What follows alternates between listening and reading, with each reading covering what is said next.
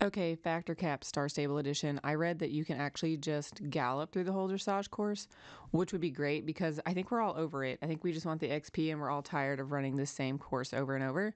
So if you can gallop through it, that would be super. I'm actually making it pretty far. I'm starting to think it's not cap. Okay, I failed. But let, maybe I just didn't do it right. It seems like the goal is to make it to your green checkpoint without like getting so many penalties that you get kicked out.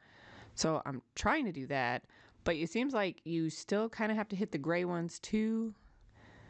Okay, we're getting there. I don't know how the person's doing the circles at a gallop because I can't make it into an entire circle without getting kicked.